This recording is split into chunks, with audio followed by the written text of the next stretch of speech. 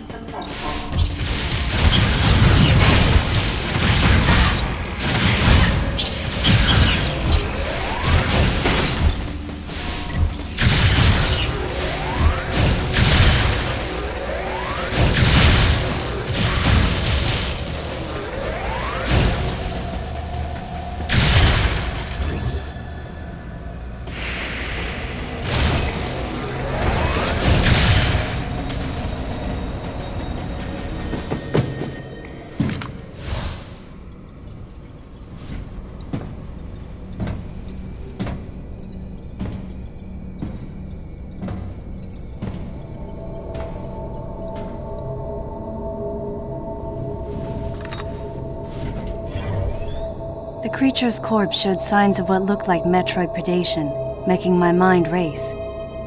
Metroids? Here? Impossible. Metroids can't tolerate cold temperatures. They couldn't survive in this environment. Besides, they're extinct. The baby was the last of its kind.